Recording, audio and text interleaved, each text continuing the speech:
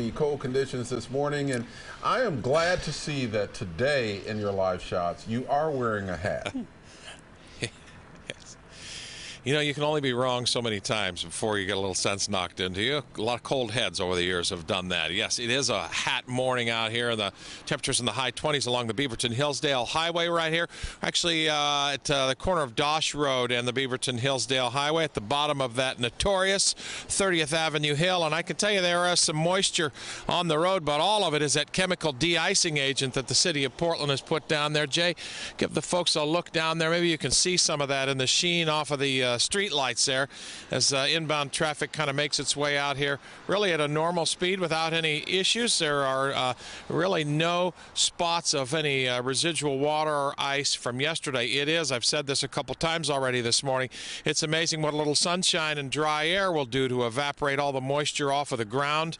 And it has done that in a big way here. And again, what you're seeing there, the glaze, the moisture on the road is simply that chemical uh, de-icing uh, agent that we talked about that the city of Portland has been uh, putting out there since all of this stuff began yesterday. The spots uh, that do have uh, some residual moisture left over are uh, likely snowy areas that didn't get any sunshine yesterday. There's a few pockets of that. And up at elevation, we're told as well. You just heard the lady from WashDOT talk about maybe some icy spots up in the Cougar and the Battle Ground area. Those are outlying areas with exposed uh, uh, elevations of pavement. Uh, we're going to head up into the West Hills a little bit here with the next half hour up, up on Skyline and check that out. If there is frost on any of the roads this morning, it will be in areas like that at elevation of a thousand feet or so. But down here in the lowlands here, people are where everybody commutes to work along Beaverton Hillsdale Highway this morning.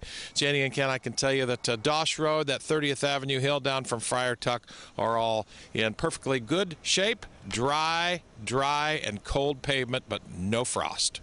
That is very good news, Core, and uh, good looking hat there. We're glad that you're mm -hmm. prepared today.